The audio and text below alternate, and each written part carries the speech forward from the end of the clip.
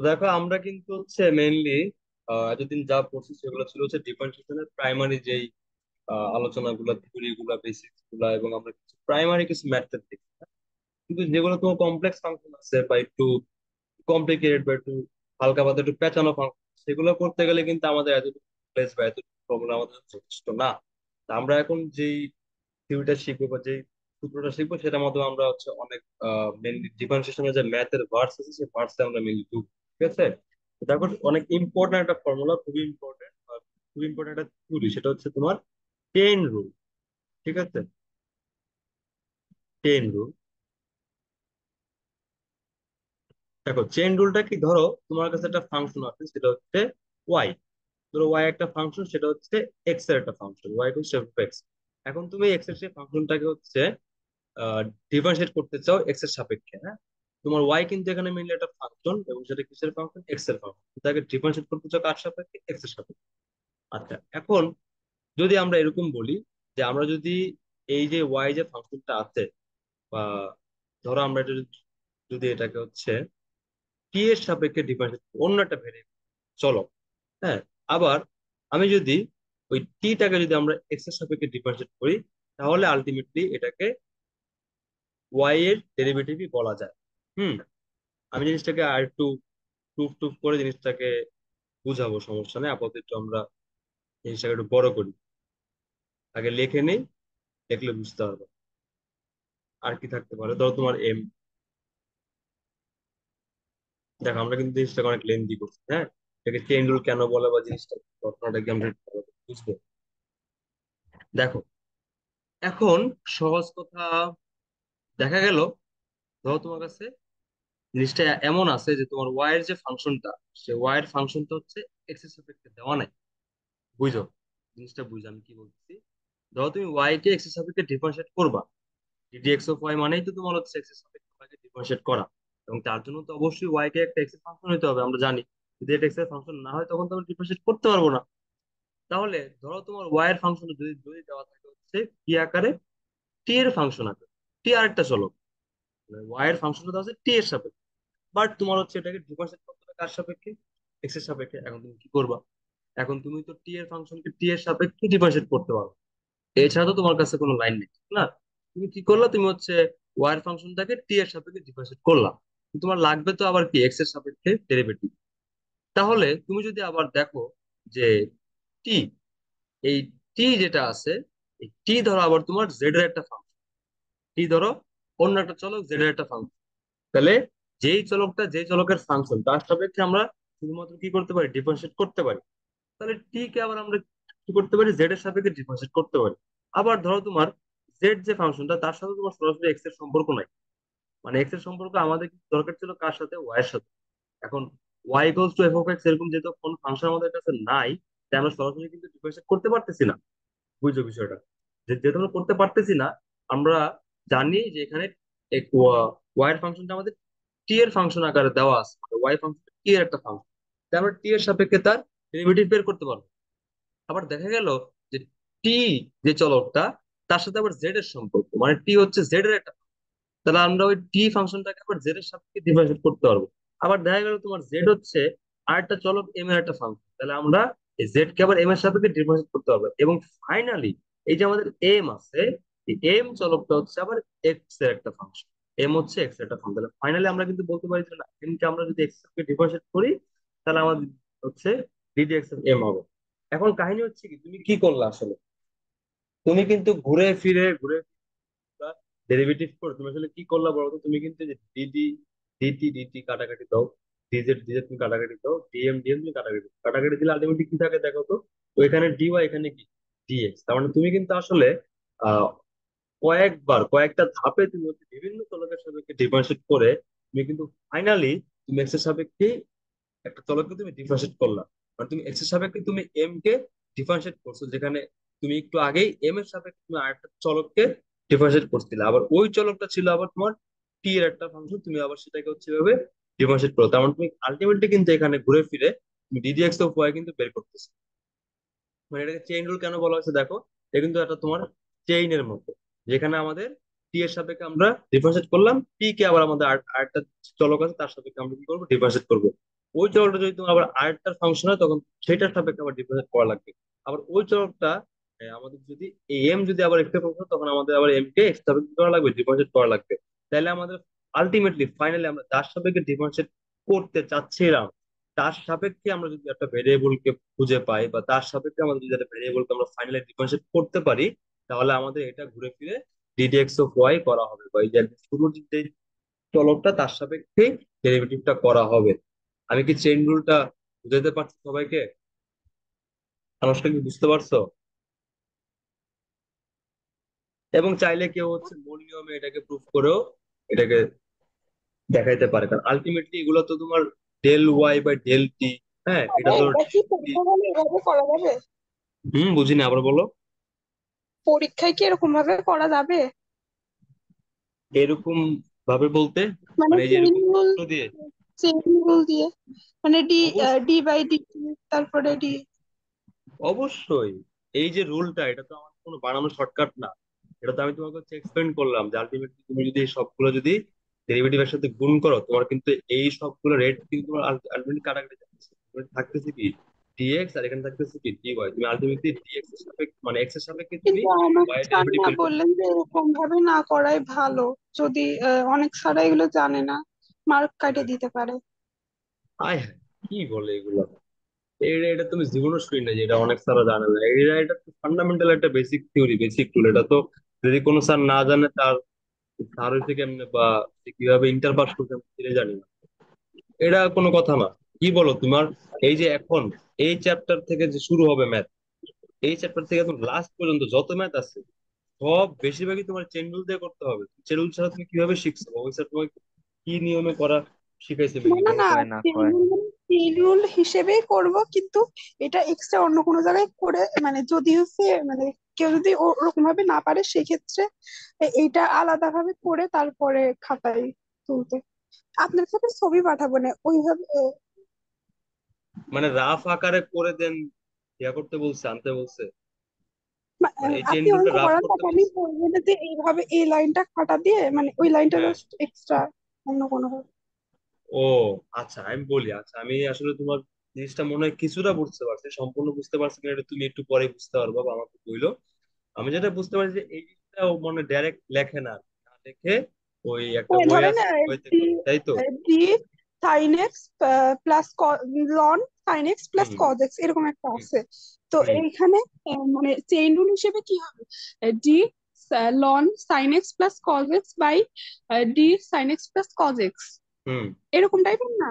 ওই তো ওইটা এই লাইনটা না লিখে একবারে ডিটেক্ট করে দেওয়া আহ, যে d loan sine x plus cos x by d sine x plus cos x is equal to one by sine x plus cos x into cos x minus sine x এরকম। মানে একবারে করে দেওয়া। হুম এখন স্যার মানে sir যেটা বলছে যে আমাদের ওই একবারে যেটা আসে সেটাই হচ্ছে খাতায় উল্লেখ করতে হবে। এরকম সূত্র দিয়ে করা যাবে না তাই তো? হুম মানে করা যাবে না এটা বলেনি। তো ওই লাইনটা না করলে ভালো। হ্যাঁ না করলে ভালো। শোনো ওই স্যার যেটা বলছে আমরা নর্মালি ওইভাবেই করি। এটা জাস্ট তোমার এই যে আমরা যে মানে যেটা আমরা ডিরেক্টলি পরবর্তীতে করব সেটা যে ডিরেক্টলি করা যায় সেটার ভ্যালিডেশনটা আমরা এখানে শিখতেছি। চেন রুল এবং এই সূত্রের মাধ্যমে। আমরা যখন অঙ্ক করব আমরা নিজেরাও তো এই জিনিসটা লিখব না। এভাবে তো ভাগা ভাগে আমরা করব না। বুঝতে পারছ? সেটা না মানে এরকম করে করলে কি কেটে দেবে? না কাটবে কেন?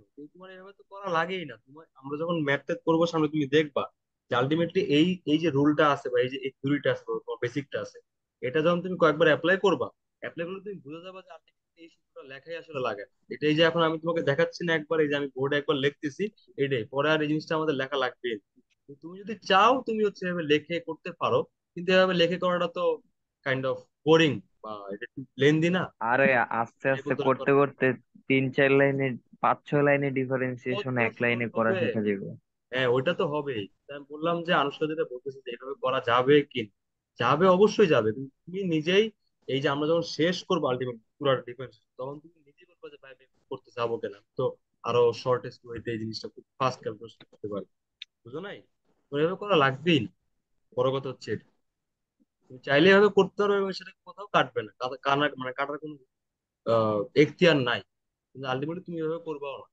এটা জাস্ট শেখার জন্য জানার জন্য যে এই রুলটা এভাবে কাজ করে বা আমি তো ভাই খাতায় মনে হয় মাঝে মধ্যে ডিডিএক্স লিখিও না ডাইরেক্ট করে ফেলাই হ্যাঁ এরকম হয়ে যায়। মানে করতে করতে এরকম হয়ে যায়। এবং এই যে আমি যে এর আগে ম্যাথ করলাম কতগুলো কত লম্বা লম্বা লাইন হয়েছে অনেকগুলো লাইন হয়েছে এটা তোমাদের বোঝানোর জন্য। আলটিমেটলি তোমরা নিজেরাও যখন অধ্যায় শেষ হবে তখন তোমরা এত- এতগুলো লাইন তোমাদের করা লাগবে। কিন্তু আবার পাকনামি করতে গিয়ে বেশি লাইন শর্ট করতে গিয়ে ভুল করে দিয়ে আসো এটা হচ্ছে আমার কথা ঠিক আছে? প্রথম দিকে একটু সুন্দর করেই ভাঙ্গা ভাঙ্গাই করে যাতে ভুল না হয়। ওটা আরও অনেক পরে করতে করতে লাইন শর্ট করার কনফিডেন্স হয় তখন করবে আর ঠিক আছে? যাই হোক আনুষ্কা তুমি কি তোমার অ্যান্সার পাইছো? করা যাবে যাবে না কেন? অবশ্যই যাবে। তুমি নিজেই করবা না। এক্সপার্টাইজ হয়ে গেলে তুমি নিজে ভাবে সূত্র ভাঙায় তুমি করবা ক্লিয়ার হুম। হুম আচ্ছা। আমি এমনিতেই তো ওভাবে করি। আচ্ছা ঠিক আছে। সবাই অমনি করে এটাকে ভাঙায় কেউ করা দেখো এখন কথা হচ্ছে যে আমরা এই রুলটার মাধ্যমে আমরা আরেকটা প্রপার্টি শিখব। ডিফারেন্সিয়েশনে সেটা হচ্ছে তোমার বিপরীত ফাংশনের অন্তরীকরণ আমরা শিখব এই রুলটার মাধ্যমে। কীভাবে দেখো? ধরো আমাদের হচ্ছে d d x of y into d d y of x এইটার ভ্যালু কত হওয়া উচিত বলো তো নমস্কার। D d x of y into d d y of x এটা কত হওয়া উচিত dy by dx dx by dy হুম। ওয়ান ওয়ান উচিত মানে দেখলে বোঝা যায় যে এটা ডিএক্স ডিএক্স যাবে কাটাকাটি ডিওয়াই ডিওয়াই যাবে কাটাকাটি। কিন্তু কাটাকাটি জিনিসটা আসলে ঠিক বলা ঠিক না। না। হ্যাঁ বাট এটা হচ্ছে মূল নিয়মে কিন্তু প্রমাণ করা। আচ্ছা আমরা যদি ধরে নেই যে ইউ আর একটা ইউ হচ্ছে একটা ফাংশন সেটা হচ্ছে ওয়াই এর ফাংশন আর আমাদের ওয়াই হচ্ছে এক্সের ফাংশন হ্যাঁ সেক্ষেত্রে তোমার হচ্ছে এগুলো মূল নিয়মে জিনিসটা প্রুভ করা যায় আর কি মূল নিয়মে আসলে জিনিসটাকে খুব সহজে প্রুভ করা যায় ঠিক আছে যে আমরা যদি এটাকে ধরো আমাদের ইউ আর একটা চলক আমরা নিয়ে আসলাম ঠিক আছে ধরো আমাদের একটা চলক হচ্ছে কি ইউটা হচ্ছে ধরো তোমার ওয়াই এর একটা ফাংশন আর এক্স হচ্ছে মানে ইউ হচ্ছে ওয়াই এর ফাংশন ওয়াই হচ্ছে আবার এক্সের ফাংশন যেটা আমরা চেইন রুলে শিখতাম ধরো আমরা ধরে নিলাম এখন ধরো যদি তোমার ইউ ইকুয়ালস যদি এক্স হয় ইউ আর এক্স যদি সমান হয় তখন আমরা কি বলতে পারি যে d d x of u equals to কি হওয়া উচিত? D d x of u equals to হওয়া উচিত হচ্ছে d d x of x equals to কত হওয়া উচিত? ওয়ান ইকুয়ালস টু তোমার কত হওয়া উচিত? ওয়ান ঠিক আছে? তাহলে আলটিমেটলি আমরা কিন্তু এটাকে এভাবে লিখতে পারি যে d d x of u equals to কি লেখা যায়? D d y of u into d y by d x এভাবে কিন্তু লেখা যায়। আর ইউ যদি তোমার এক্সের সমান হয় আলটিমেটলি আমরা দেখলাম যেটা আসলে কত হয়? ওয়ান হয়। আলটিমেটলি ঘুরে ফিরে জিনিসটাকে প্রুভ করা যায় যে d d x of y into d y মানে d d y of x equals to কত হবে? ওয়ান হবে। বুঝতে পারছ? ক্লিয়ার মানুষটা? মানে আমরা ইচ্ছা করে প্রথমে একটা আলাদা ভ্যারিয়েবল নিছি ওয়াই সরি ইউ যেটা হচ্ছে ওয়াই এর একটা ফাংশন আবার ধরো তোমার হচ্ছে ওয়াই এক্সের একটা ফাংশন চেইন রুল অনুসারে কি হবে? এখন যদি আমরা এটাকে যদি ইউকে যদি আমাদের কি করতে হবে? ওয়াই এর সাপেক্ষে ডিফারেন্সিয়েট করতে হবে। যেহেতু ইউ হচ্ছে ওয়াই একটা ফাংশন আবার ওয়াই আবার কি? এক্সের একটা ফাংশন যখন ওয়াই কে আমরা আবার এক্স ডিফারেন্সিয়েট করি তখন আমরা এটাকে বলতে পারি কি এক্স অফ ইউ এখন যদি আমাদের ইউ আর এক্স যদি সমান হয় তখন কি হবে? ওটার ভ্যালু আসবে কত? ওয়ান তাহলে আমাদের আলটিমেটলি এই দুটোর গুণফল কি হচ্ছে? ওয়ান হচ্ছে। তাহলে আমাদের ইউ এর জায়গায় আমরা কি লিখতে পারি? ইউ এর জায়গায় আমরা এক্স লিখতে পারি। যদি এক্স দেখি তখন এটার গুণফল কত হওয়া উচিত? ওয়ান হওয়া উচিত। এই বুঝতে পারছ অনুষ্কা ক্লিয়ার প্রমাণ দেখালাম হ্যাঁ। এখন এটাকে যদি আমরা কি করি? সাইড চেঞ্জ করি। Like d d y of x equals to তাহলে কি হবে? One divide by d d x of y তার মানে আমাদের এটা হচ্ছে ব্যস্তকরণ করলেই কিন্তু আলটিমেটলি আমাদের ডেরিভেটিভটা বের হয়ে যায়। মানে হচ্ছে ওয়াই এর সাপেক্ষে এক্সের অন্তরীকরণ যা এক্সের সাপেক্ষে ওয়াই এর অন্তরীকরণে ব্যস্তকরণ করলে যেটা হয় সেটা সমান।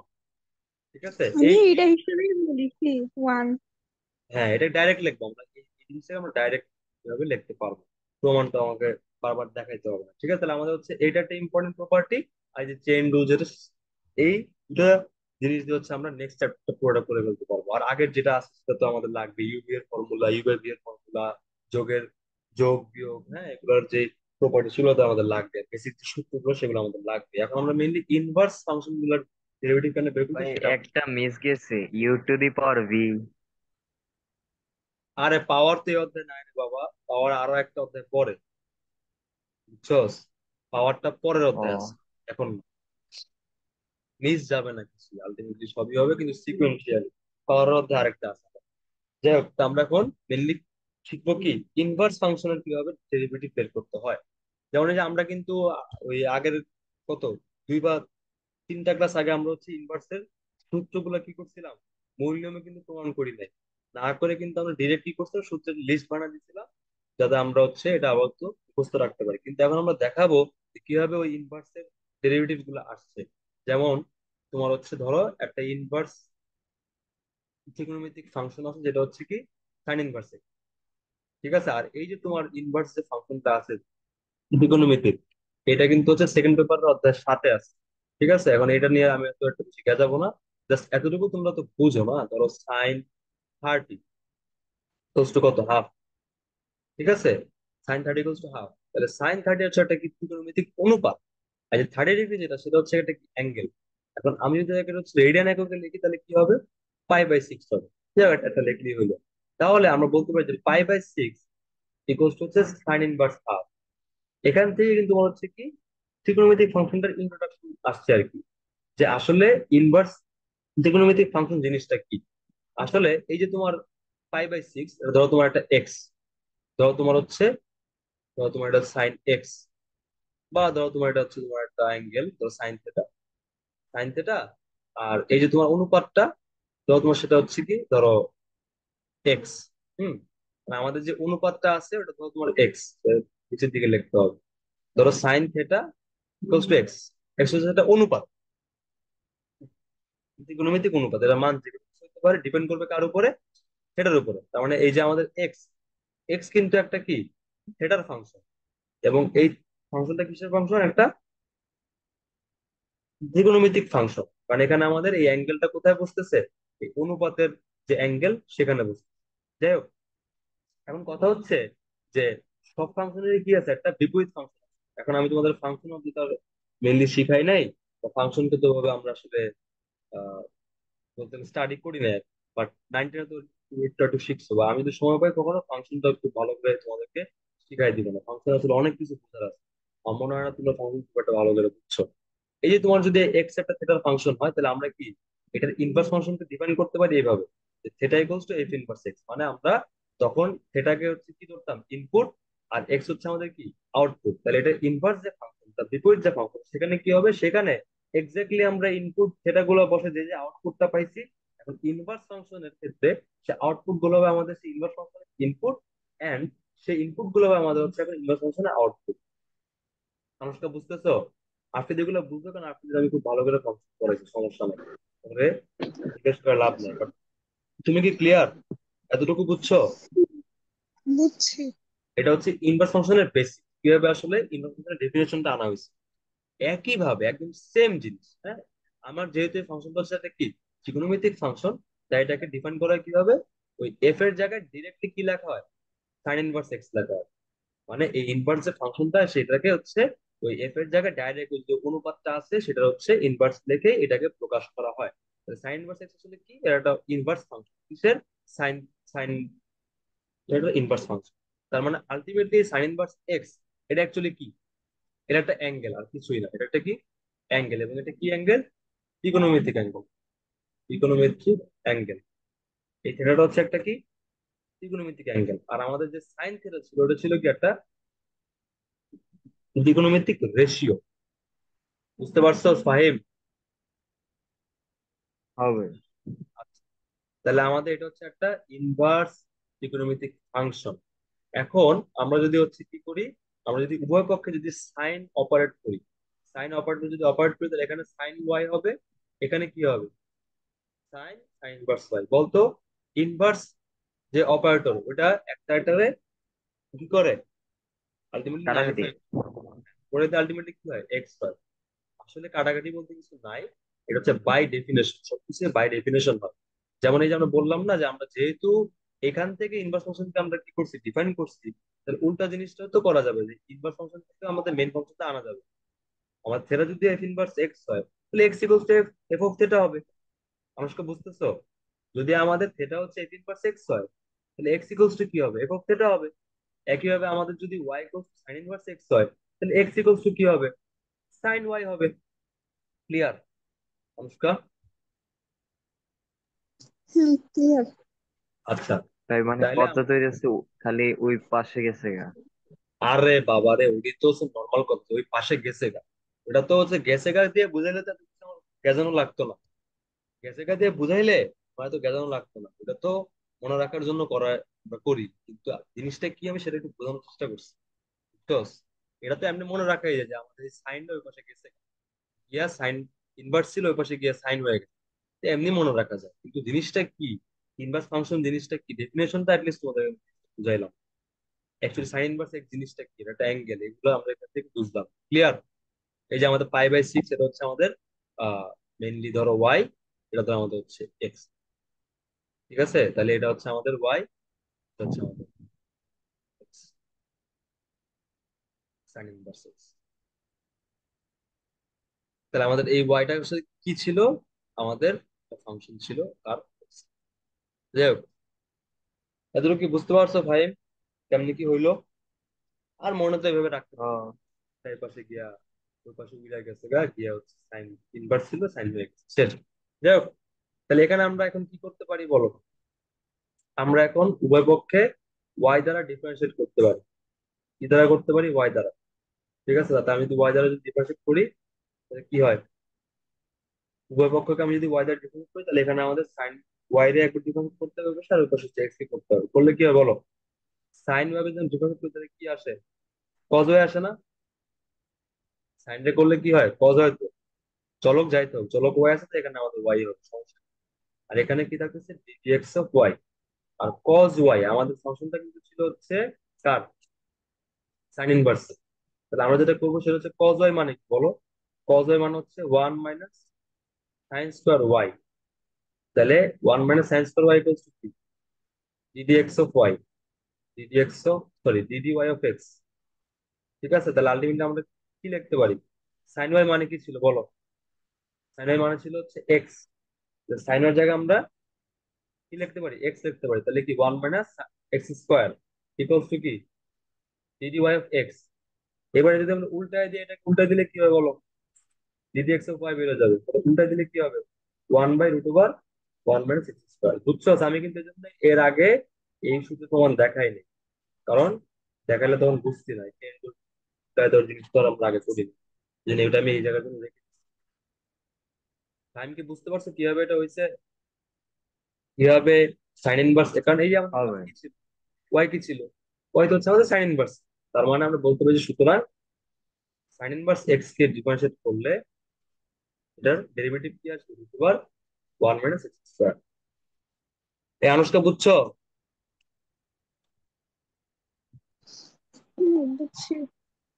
তাহলে কি একইভাবে cos inverse x tan inverse x এই সবগুলোর ক্ষেত্রে ওয়াই ধরে ধরে এভাবে কি প্রুফ করা যাবে না? হ্যাঁ যাবে কি না? আনুষ্কা হ্যাঁ। যাবে। যাবে। তোমার কথাগুলো এরকম কেন? তোমার বিশ্বাস করতে খুব কষ্ট হচ্ছে। ভাই একটু একটু দেন। হুম। আগে একটু যান। হুম।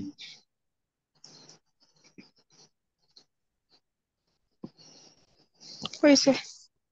আচ্ছা গুড আমরা আরেকটা জাস্ট এক্সাম্পল দেখে নিই। ধরো আমরা কজেক ইনভার্স এক্সের আমরা হচ্ছে ডেরিভেটিভ বের করে দেবে। তাহলে আমাদের মনে করো বাকিগুলো তোমরা বই থেকে দেখে নিও, ঠিক আছে? আমি আরেকটা করে দিচ্ছি। বুঝা এগুলো করার সমস্ত দরকার নাই।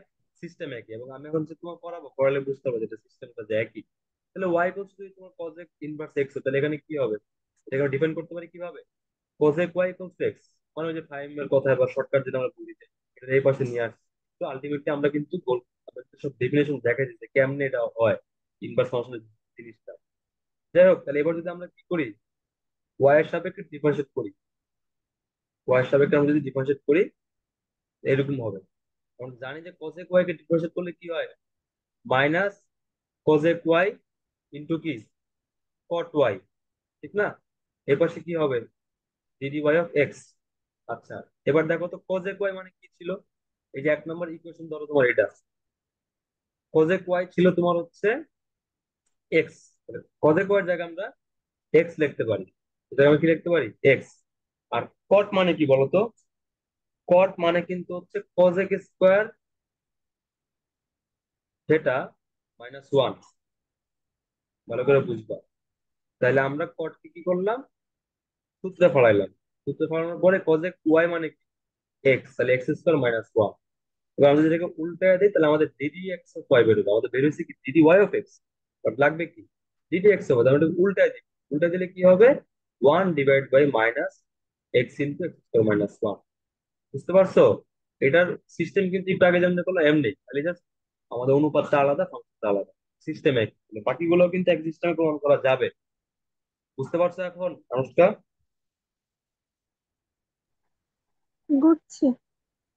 গুড তাহলে এটা হচ্ছে আমাদের বেসিক চার্ট কিন্তু আগেই দিয়ে দিচ্ছি যে কোন ইনভার্স ফাংশনের ডেরিভেটিভ কি হবে সেটা কিন্তু মুখস্থ রাখা লাগবে। চার্ট আমি আগেও দিয়ে দিচ্ছি বাট তারপরে এখন আরেকবার একটু রিমান্ড করে দিচ্ছি যাতে ম্যাথ হয়। আমাদের ছিল কি কি বলো? বেসিক ছিল হচ্ছে সাইন ইনভার্স এক্স এরপরে টেন ইনভার্স এক্স আর এটা ছিল কি? Cot inverse x sorry second inverse x আর এগুলোর মতো আরও তিনটা কি ছিল সূত্র দেখতে?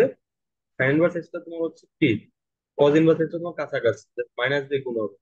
টেন ইনভার্স এক্সের সাথে তোমার সম্পর্ক কার? কট ইনভার্স এক্সের আর সেকেন্ড ইনভার্স এক্স তোমার কার মতো দেখতে? কসেক ইনভার্স এক্সের মতো দেখতে। দেখো সাইন ইনভার্স এক্স করলে কি হয়? আমরা আগে প্রমাণ করছি না।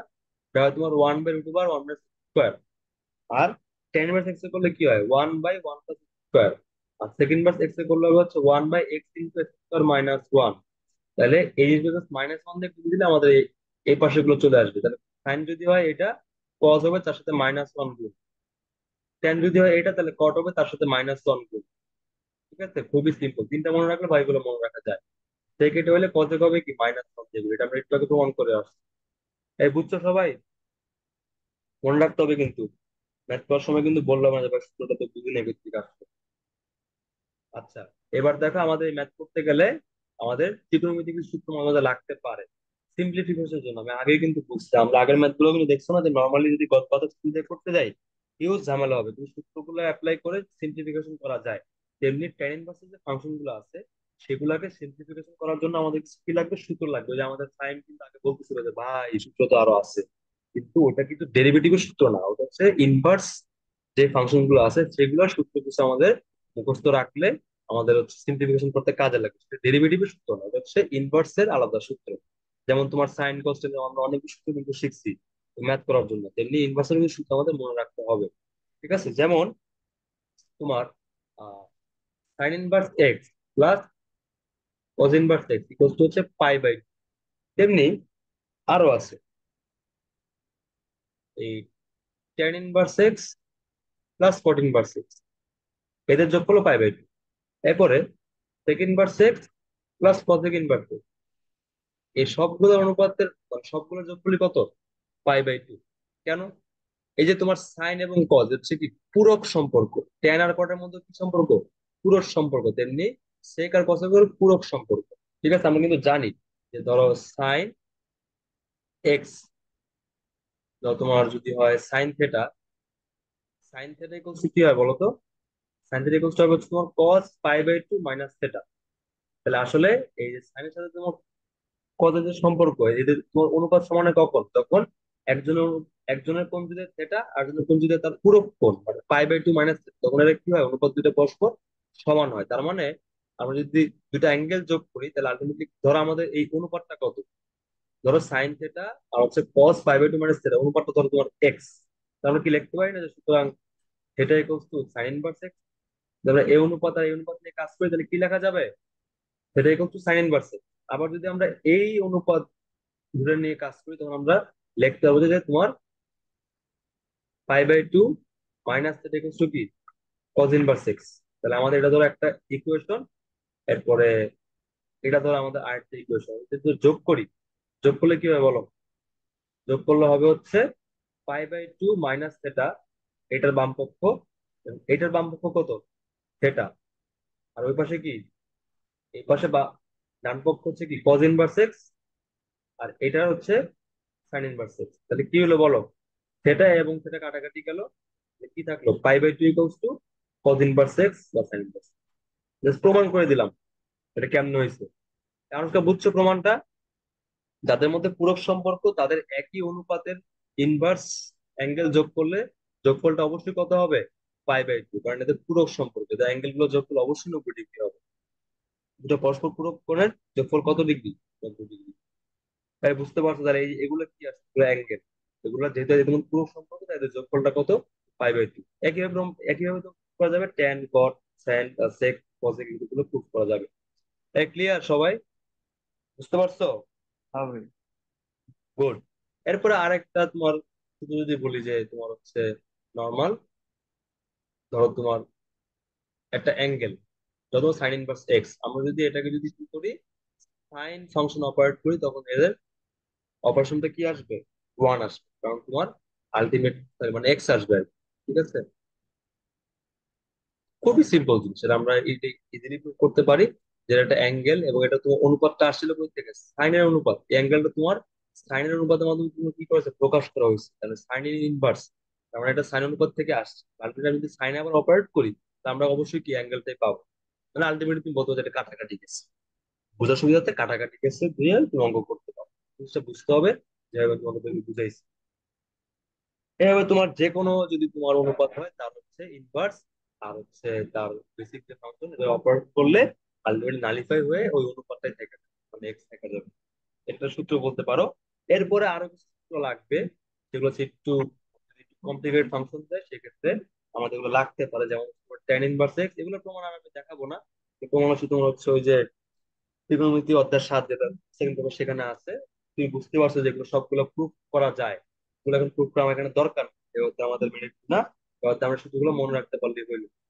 তাহলে tan ইনভার্স এক্স যদি প্লাস tan ইনভার্স ওয়াই হয়, সেক্ষেত্রে হবে x plus y divide by one minus x y যদি এখানে তোমার tan inverse x minus tan y হয়, তাহলে এখানে এটা মাইনাস হবে, এখানে আবার প্লাস হবে। তার মানে মনে রাখবে, tan এর ক্ষেত্রে যদি প্লাস হয়, তাহলে উপরে প্লাস নিচে কিন্তু মাইনাস আর যদি তোমার নিচে মাইনাস মানে যদি তোমার tan inverse x minus tan inverse y হয়, তাহলে উপরে হবে মাইনাস নিচে হবে কি প্লাস তার মানে উপরে এখানে যে চিহ্ন, সেখানে একই চিহ্ন, উপরে আর নিচে হচ্ছে কি, উল্টা চিহ্ন। এভাবে তুমি মনে রাখতে পারো।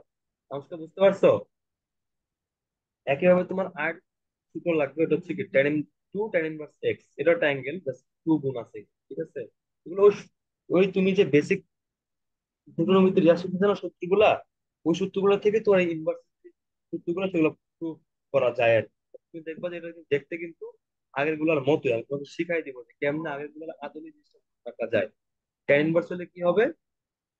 tan ইনভার্স হলে হবে তোমার হচ্ছে two x divide by one minus x square tan inverse দেখলে কি হবে?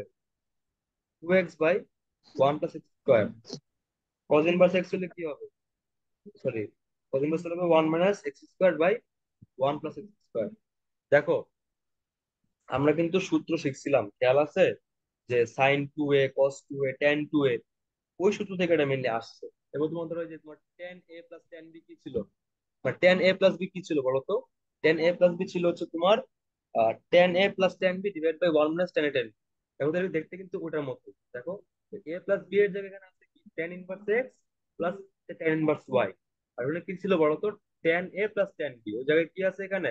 Tan inverse x plus y নিচে কি ছিল? ওয়ান মাইনাস এ বি এর জায়গায় কি আছে এক্স আর বির জায়গায় কি আছে ওয়াই আর কিছুই খুব সিম্পল এ বুঝতে পারতেছো অনুষ্কা লিঙ্ক করতে পারতেছো? তোমার আগের যে সূত্রগুলো মুখস্থ করছ, এর সাথে কিন্তু পুরোপুরি মিল আছে। তাহলে ওটা ইনভার্স আর ওটা ইনভার্স না ক্লিয়ার ওখানে তোমার যে জায়গায় অনুপাত ছিল ওই অনুপাতের জায়গায় কি আছে এক্স আর ওয়াই তোমাদের এখানে এক্স আর ওয়াই কিন্তু কোণ না এখানে এক্স আর ওয়াই হচ্ছে অনুপাত আর কোণ হচ্ছে ইনভার্স ক্লিয়ার এরপর তোমার যে ইয়া ছিল না আলোচনা তোমার tan two a.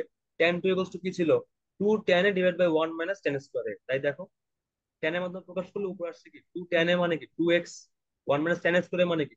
One minus x square আবার দেখো তোমার হচ্ছে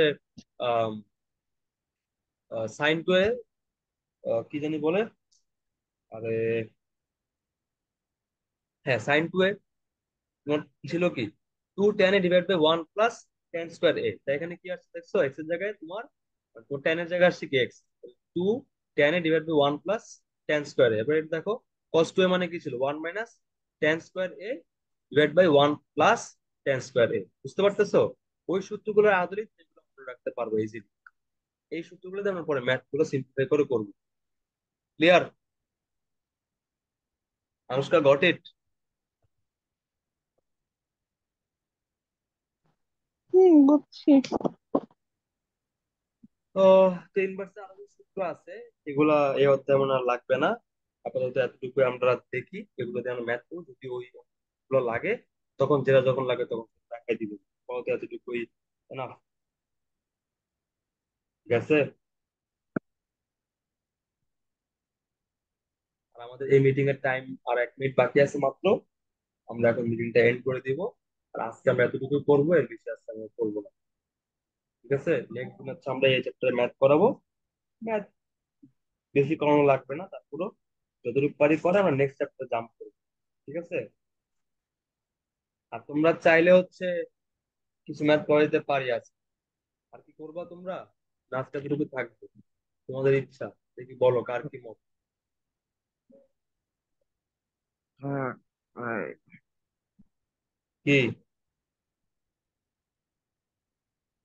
বুঝি নাই তুমি কি বলছো থাকতে বলছো নাকি? শুনি নাই ঠিক মতো। থাকবে এইটুকুই খেলা দেখি। আগামীকাল করব ঠিক আছে? আর ইয়া আনুষ্কা রেগুলার পড়া কিন্তু রেগুলার করতে হবে। ঠিক আছে? জমায় রাখা যাবে না। রানিং পড়া রানিং একটা দিনে। যা পড়াইছে আজকে এগুলো বাসায় করতে হবে। সবার ক্ষেত্রে প্রযোজ্য। ঠিক আছে? আনুষ্কা তুমি শুনতে পারছ? আর যেগুলো আলাদা কাজ দিই সেগুলো আলাদা প্যারালালি দায়িত্ব নিয়ে করতে হবে। ক্লিয়ার খেলাফেলা করা যাবে না। মোটামুটি ভাইয়া হ্যাঁ এগুলা করলে কিন্তু কাজ হবে। ঠিক আছে? আনুষ্কা তুমি কি শুনছো কি বলছি? ভাইয়া আপনি তো বলছেন পড়াশোনার কি অবস্থা? আপনি তো মনে হয়